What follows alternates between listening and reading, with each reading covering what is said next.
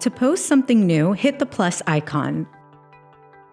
On post, you can select one or more saved photos or videos. If you selected more than one picture or video, you can edit them simultaneously or individually using Instagram's effects and photo editing tools.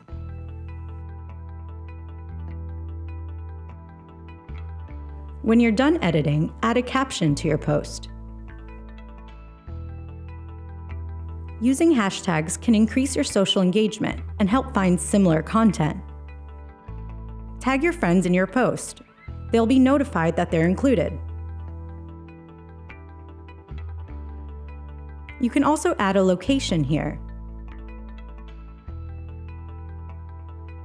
If you've connected your Facebook, Twitter, or Tumblr accounts, you can automatically share your post on those platforms